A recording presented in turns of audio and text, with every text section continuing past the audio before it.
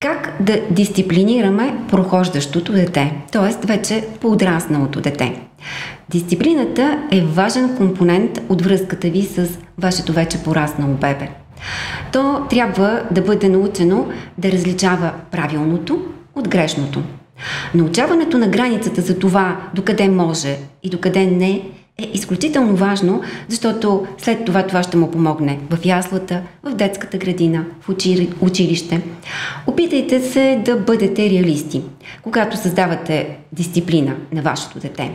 Защото между 12 и 36 месец децата нямат ясна представа за времето. Ако го заплашите, че ще го лишите от нещо, което то обича да прави след около час или два, то за него няма да има значение, защото то няма реална представа за времето.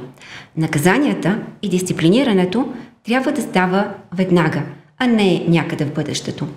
Затова вие трябва веднага да съобщите на вашето дете какво не харесвате в неговото поведение и какви ще бъдат последствията след това. Повечето от белите, които децата правят в тази възраст, са заради вашето внимание. Тогава, когато вие излезете от стаята и го лишите от публика, лишите го и от вашето внимание, то няма да прави и бели.